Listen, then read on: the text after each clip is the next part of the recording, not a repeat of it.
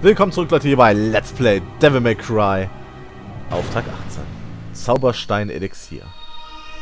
Aber erstmal natürlich eine Cutscene. Da wir jetzt beide Steine haben, haben wir das Schlüsselamulett. Die Kombination aus dem Anhänger Dantes und dem des Schwarzen Ritters. Damit erhält man Zugang zur Unterwelt. Oh wow, was ein Glück, dass wir das gerade bekommen haben. Just saying. Also das jetzt mal nicht. Ich habe die Power, Macht, Kraft, wie auch immer. Ist dann weiß ich auch nicht.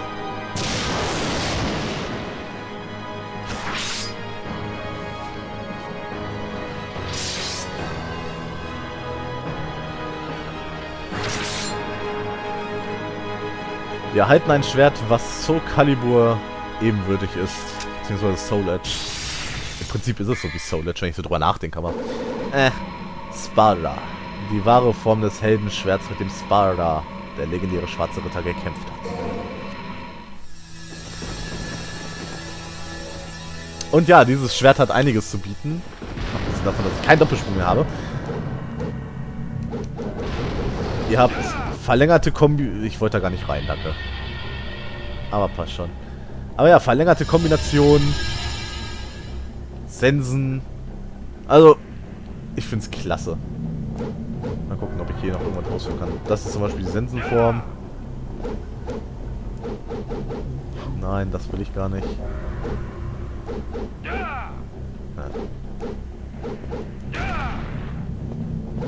Aber ja. Ich bin nicht ganz so gut da drin mit dem Schwert, weil man es auch erst spät kriegt und ja, dementsprechend habe ich wenig Zugriff auf die Waffe und äh, benutze sie selten. Wer hätte es gedacht? Yay, lauter kleine Orbs. Lauter kleine... Was ist das? Achso, das ist eine Lampe. Ah, danke. Schön, dass man hier unter Wasser keine zeitliche Begrenzung hat. Finde ich immer sehr schön. Sehr angenehm. Ähm, ich arbeite unter Druck nämlich sehr schlecht. Und ohne zeitliche Begrenzung habe ich keinen Druck, also kann ich schwimmen, wie ich möchte. Da das hier eh mehr oder minder ein Labyrinth ist. Ich glaube, das war mal eine Küche hier. Meine Güte. Äh, eine Küche mit so einem, so einem Teil, mit dem man Schwerverbrecher festhält. Aber Küche nichtsdestotrotz. Ja, ja, toll. Spawn mich in dem Arsch ist klar. Sorry, dass ich solche Ausdrücke verwenden muss, aber mal ehrlich. Das war doch jetzt mitten gerade in so einem Viech drin.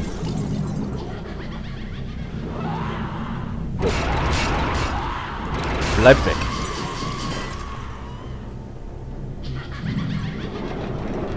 Ich hasse diesen Gegner. Oh. Magisches Wasser. Ich bin mir aber ziemlich sicher, ausnahmsweise bin ich mir gerade ziemlich sicher, dass hier ein blauer Orb ist.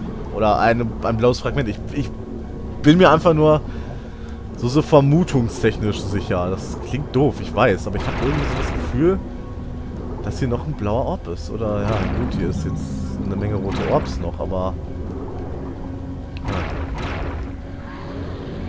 Ja, ja du hast auch schon mal bessere Tage gesehen, mein Freund. Ja gut, dann ist eben nichts. Ich hatte nur irgendwie sowas in ja, so ein Gefühl, aber... Hier kam nur her, mehr oder minder. Ne, jetzt sind wir auch mal reingegangen. Ne? Hier kam man rein. Naja, gut. Fein, genug Zeit verschwendet. Das ist ja auch nochmal sowas, was auf meinen Rang immer Auswirkungen hat, aber trotzdem. Ich wollte jetzt sicher gehen, dass hier nichts war. Ich habe halt sowas... Ah, nein, nicht schon wieder.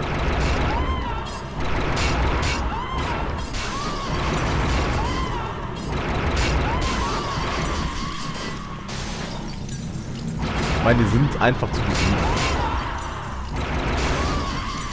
Vor allen Dingen, da die Unterwasserkanone so schnell schießt, da, da merkt man gar nichts von. Also nichts mit Nachladen. Einfach nur schießen und gut. Kam da gerade wieder ein neuer aus dem Boden? Oder sah das nur so aus? Oder war das die Schere? Ich glaube, das war die Schere. Ah. Naja, gut. Bevor ich jetzt hier weiter Zeit verschwende, raus aus dem Wasser. Nee. War so nass. So nass. Moment, da waren Statuen. Okay, fein. Da waren trotzdem Statuen. ah. Okay, was? Bitteschön, liegst dann. Oh, du flutest alles, ne? Grandios. Können wir auf jeden Fall nach oben schwimmen.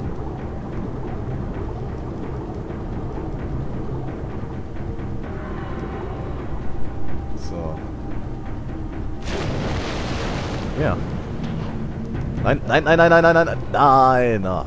Damn it. Was ich gerade bräuchte wäre... Lass mich nach meinem Doppelsprung. Den könnte ich jetzt hier gerade gut gebrauchen. Okay. So. Aha. Das ist ja doch gar nicht... Wow, wow, wow, wow, wow, wow. So schlimm, dass ich meinen Doppelsprung nicht mehr habe. Fein. Ich verzeihe dem Spiel. Ei des Philosophen wird häufig in der Alchemie verwendet. Schön. Freut mich, dass es in der Alchemie verwendet wird. Aber ja, wir wissen ja, was wir machen sollen. Wir sollen ja einen Zauberei herstellen. Konnte ich eigentlich mit dem Ding noch... Nee. Das ist auch so ein kleiner, richtig blöder Nebeneffekt momentan. Wir können mit der Waffe Sparda... Sparda...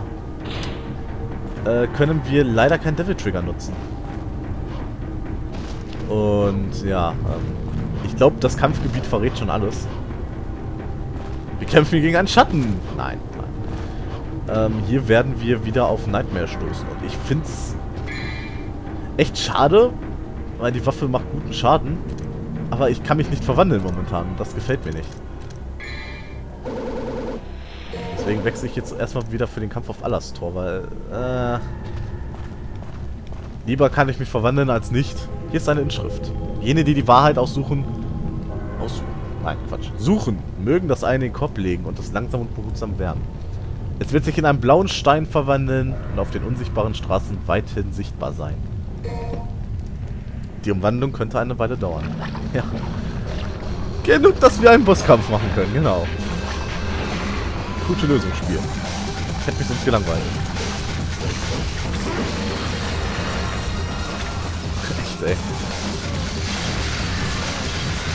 Wenn ich mich recht entsinne, dann hat Nightmare jetzt auf jeden Fall ähm, die Verletzungen, die wir hinzugefügt haben, aus dem letzten Kampf genossen. Sprich, die Orbs sind so und so stark beschädigt. Und so weiter und so fort. Finde ich ganz cool. Das gibt einem das Gefühl, dass es wenigstens irgendwie Sinn macht, dass er öfter auftaucht, weil man ihn äh, nach und nach Schaden macht. Und nicht äh, in jedem Kampf komplett vernichtet. So wie es eigentlich den Anschein hatte, zum Beispiel bei, aua, bei Phantom. Bei dem Greif jetzt vielleicht weniger. Aua, was, was hat mich getroffen? Keine Ahnung, was mich getroffen hat.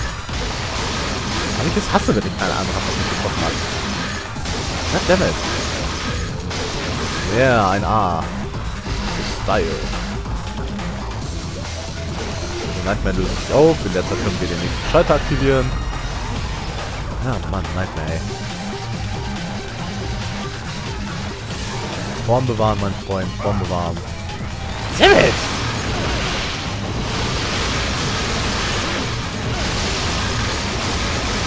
Bester Schutz dagegen, Devil Trigger, ja, sowas.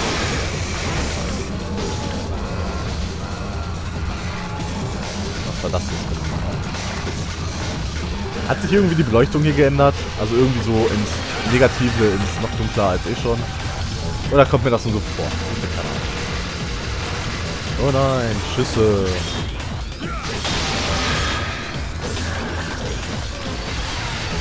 Ich glaube, der Kern ist kaputt. Bin mir gerade nicht sicher, aber... Wow. Oh, fuck. Das ist aber ein ganz schön großes Ding des Todes, oder?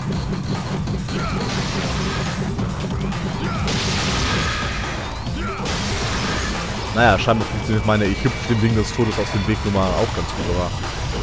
Äh, gefährlich. Nicht schön. Um es mal so zu sagen.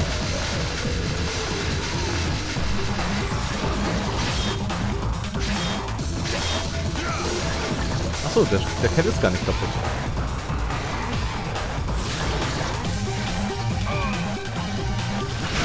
Bitte? Was verletzt mich da jedes Mal, wenn er den Kern auspackt? Ich würde es mal gerne wissen. Ich habe nämlich keine Ahnung. Ich krieg nur immer Schaden. Das ist irgendwie doof. Das ist zum Glück nicht viel Schaden. Das ist nur... Das ist Schaden. Äh... Ja, Kamera, danke sehr. Das war echt großzügig von dir. Ja, trotz allem wieder Schaden. Ich habe diesmal eine Ahnung, wieso. Yeah. Irgendwie sieht Nightmare so leicht matschig aus schon. Kann das sein? Oder, oder kommt mir das nur so vor? Ich hab keine Ahnung. Ja, das macht nur für dich, Philosophen ein. Rutsche du mal schön in der Flamme, während ich hier mich Monster anstelle. Oder zumindest ein Monster. Eigentlich nicht Monster. Okay, egal. Nightmare ist besiegt. Ich krieg nochmal schön Schaden. Passt schon. Ugh. Die Umwandlung könnte eine Weile... Die Umwandlung ist vollendet. Ja. In meinem Kopf höre ich das Echo einer rätselhaften Stimme, die aus dem verwandelten Stein zu mir spricht. Ich bin der erste Schlüssel für das Tor zur Unterwelt. Der zweite Schlüssel liegt in der Spiegeldimension. Elixier, die metamorphe Form des Ei des Philosophen. Sie können den Fluch eines Spiegels aufheben. Oder in unserem Fall des Spiegels. Dieses einen Spiegels. Neun Minuten. B-Rang, passt schon. Akzeptiere ich. Akzeptiere ich. Was ist denn der nächste Auftrag? Erzähl's mir mal, Spiel. Was kommt denn da? Ist das einer, den ich in 8 Minuten erledigen könnte? Öffnen Sie das Tor zur Unterwelt. Könnte klappen. Wenn ich drüber nachdenke. Ja, wie ihr gerade mal auf die schnelle Menü sehen konntet, ähm, Spada ist keine Waffe, die man mit Upgrades verbessern kann, leider. Finde ich ein bisschen schade, wäre ganz cool. Aber gut. So, Gucken wir mal, ob ich das jetzt noch hinkriegen kann. Ich weiß es nicht. Wenn nicht, dann habe ich wieder so einen Überlänge-Part, was ich eigentlich auch nicht unbedingt möchte. Aber naja. Äh, jetzt muss ich überlegen, wie kam ich denn da hin? Nicht hier lang. Das ist jetzt wieder die Sache mit diesem Spiegeldimensionsgedöns, aber ich glaube, das müsste eigentlich schon hier gewesen sein dann. Ja, so hell. Ah, Gott. Ah, nein. Das Elixier reagiert sehr stark auf das andere Gemälde. Wundert mich nicht, da will ich auch hin. Da ist ja dieser absolut böse Spiegel. Vielleicht liegt ja noch mal ein Item rum, aber ne, sieht nicht so aus. Ich glaube in irgend ich glaube irgendwann mal lag mal was unterm Bett oder so. Ich kann es aber auch gerade mit einem ganz anderen Spiel verwechseln. Naja. Der Spiegel reagiert auf das Elixier und das Spiegelbild wird immer unheimlicher. Weil es Wellen schlägt. Ich finde Wellen auch gruselig. Ach so, ich sollte vielleicht auch mal was tun dann. Oh Gott. Das ist also die dunkle Dimension, ha? Es kann auch sein, dass das diese Welt war, in der dann... Oh Gott, da kriege ich irgendwie Krebs in den Augen. Das in dieser Dimension, was da drunter liegen muss. Ich glaube nämlich, hier kann man auch noch mal die Nightmare-Waffe finden, sollte man sie verpasst haben. Habe ich zumindest gerade irgendwie so in Erinnerung, aber... Äh, das, oh Gott.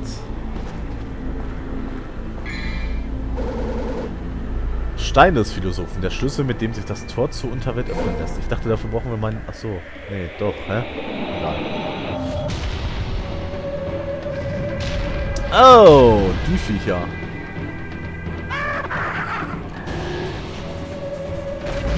Die Viecher sind im Großen und Ganzen ganz lustig. Mit jedem Treffer schrumpfen sie. Und bei genügend Schaden werden sie eine Maske aufsetzen. So wie dieser hier. Und diese Maske macht sie, auch wenn man das hier in der Katze vielleicht nicht ganz so gut erkennt, aber sollte man jetzt eigentlich schon. Es macht sie größer, angriffslustiger und stärker. Und ähm, ja, das ist dann der Punkt, den ihr dann sagen solltet, ich hau lieber ab. Zumal die ja dann immer meinen, ja, ich, ich hab jetzt drauf, ich klaue mal den Devil Trigger. Was ich also gerne habe.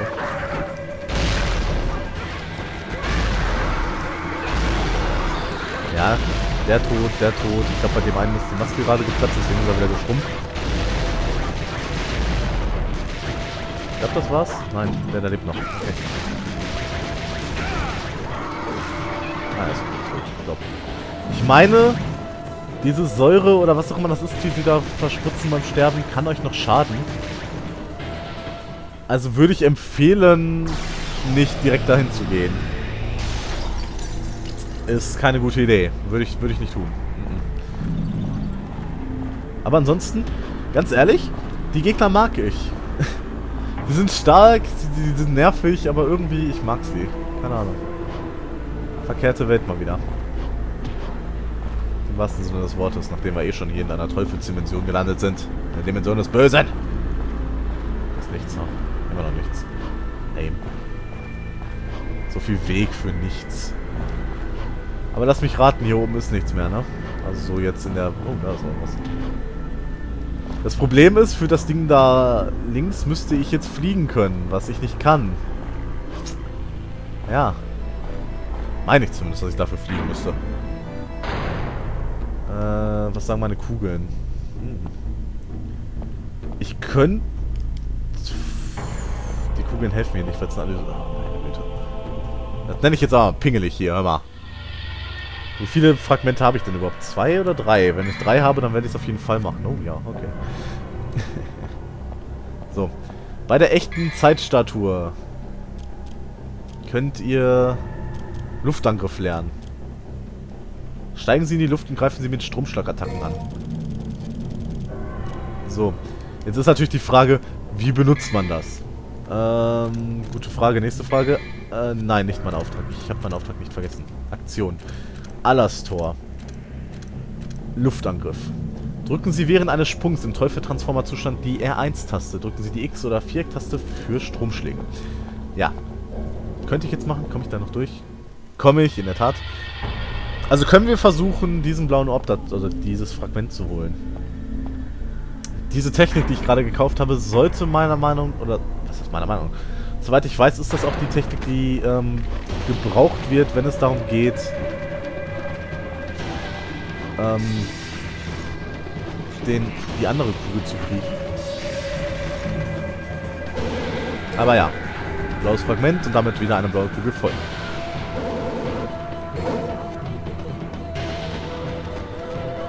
Und stylisch aussehen tut sowieso. Aber gut. Haben wir das auch gelöst.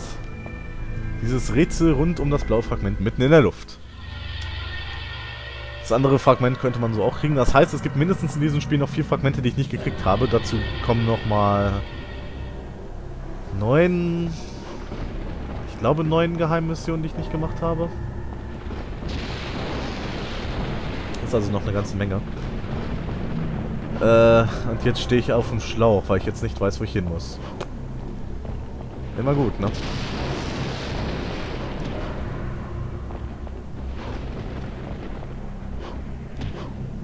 Yeah. Ich habe kein Problem damit, darüber zu springen. Was mich wundert, weil ich oftmals ein Problem damit habe. Der Schwein des Bösen reagiert auf die Macht des Elixiers. Es wird zum Leben erweckt. Was? Nein, das soll's nicht. Aber wir können durch die Pfütze. Hurra! Die Dunkelheit des Bösen grüßt mit weit geöffnetem Mund. Das muss das Tor zur Unterwelt sein. Aufregend. Ich brauche unbedingt den Schlüssel, den Stein des Philosophen. Ja, den haben wir. Den müssen wir aber hier einsetzen. Die Dunkelheit des Bösen grüßt mit weit geöffnetem Mund. Das muss das Tor zur Unterwelt sein. Aufregend. Wir legen den Stein hinein. Und das Böse öffnet sich. Hinab mit uns in die Unterwelt. Der Auftrag ist erfüllt. Wir erreichen einen B-Rang, wie immer. Und damit sehe ich euch beim nächsten Mal, Leute. Bis dahin, auf Wiedersehen und tschüss.